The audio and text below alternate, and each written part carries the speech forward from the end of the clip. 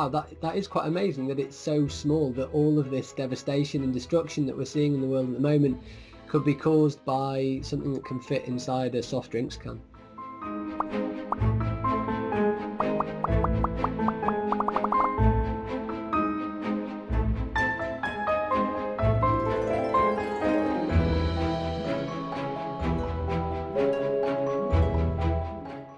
Um, you can imagine it might be like uh, sand, if you like. So sand is sort of somewhere between a, a fluid and a solid. It flows, uh, if you like.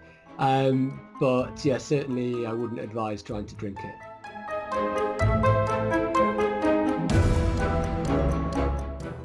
Yeah, so I'm a I'm a maths popularizer. I'm a I'm an author, and part of my job I see is trying to bring maths to the masses and trying to point out where maths can be useful, you know, to, to show people that maths uh, can be can actually provide a lighter side of things, you know.